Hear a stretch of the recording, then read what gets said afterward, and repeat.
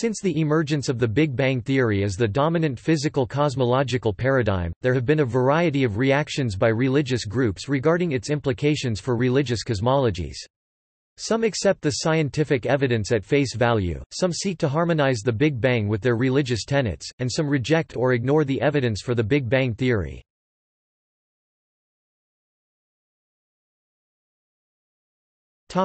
Background The Big Bang itself is a scientific theory and as such stands or falls by its agreement with observations. However, as a theory which addresses the nature of the universe since its earliest discernible existence, the Big Bang carries possible theological implications regarding the concept of creation out of nothing. Many atheist philosophers have argued against the idea of the universe having a beginning, the universe might simply have existed for all eternity, but with the emerging evidence of the Big Bang theory, many theologians and physicists have viewed it as implicating theism. A popular philosophical argument for the existence of God known as the Kalam cosmological argument rests in the concepts of the Big Bang. In the 1920s and 1930s almost every major cosmologist preferred an eternal steady-state universe, and several complained that the beginning of time implied by the Big Bang imported religious concepts into physics. This objection was later repeated by supporters of the steady-state theory, who rejected the implication that the universe had a beginning.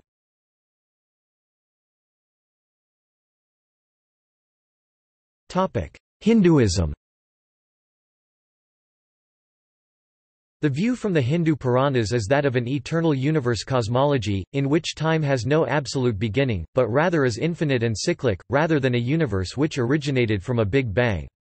However, the Encyclopedia of Hinduism, referencing Katha Upanishad 220, states that the Big Bang theory reminds humanity that everything came from the Brahman which is subtler than the atom, greater than the greatest. It consists of several Big Bangs and Big Crunches Following each other in a cyclical manner, the Nasadiya Sukta, the hymn of creation in the Rigveda 10 mentions the world beginning from a point or bindu, through the power of heat. This can be seen as corresponding to the Big Bang theory. Several prominent modern scientists have remarked that Hinduism is also Buddhism and Jainism by extension as they share most of these philosophies is the only religion or civilization in all of recorded history, that has timescales and theories in astronomy cosmology, that appear to correspond to those of modern scientific cosmology, e.g. Carl Sagan, Niels Bohr, Erwin Schrödinger, Werner Heisenberg, Robert Oppenheimer, George Sudarshan, Fritjof Capra etc.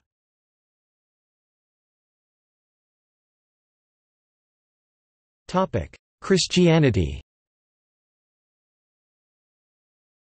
At the November 22, 1951, opening meeting of the Pontifical Academy of Sciences, Pope Pius XII declared that the Big Bang theory does not conflict with the Catholic concept of creation.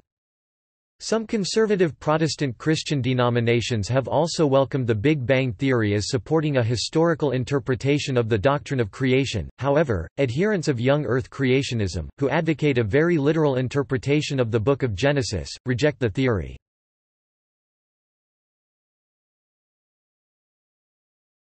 Bahá'í Faith Baha'u'llah, the founder of the Bahá'í Faith, has taught that the universe has neither beginning nor ending. In the Tablet of Wisdom, La-i-Hikmat, written 1873–1874. Baha'u'llah states, that which hath been in existence had existed before, but not in the form thou seest today. The world of existence came into being through the heat generated from the interaction between the active force and that which is its recipient. These two are the same, yet they are different. The terminology used here refers to ancient Greek and Islamic philosophy al-Kindi, Avicenna, Fakhr al-Din al-Razi and Sheikh Ahmad. In an early text, Baha'u'llah describes the successive creation of the four natures heat and cold the active force, dryness and moisture the recipients, and the four elements fire, air, water and earth.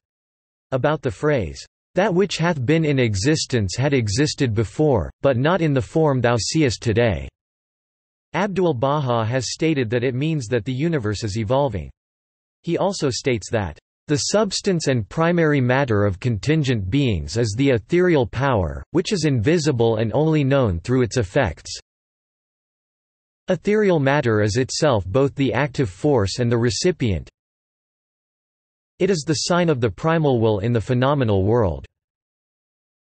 The ethereal matter is, therefore, the cause, since light, heat, and electricity appear from it.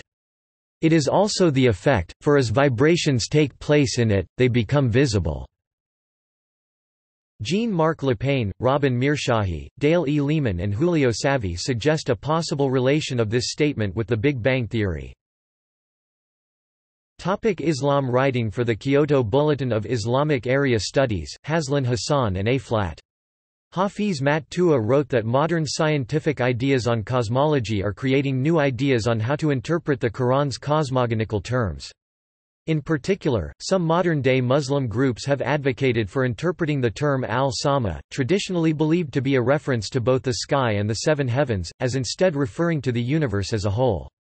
Mirza Tahir Ahmad, head of the Ahmadiyya Muslim community, asserted in his book Revelation, Rationality, Knowledge and Truth that the Big Bang theory was foretold in the Quran.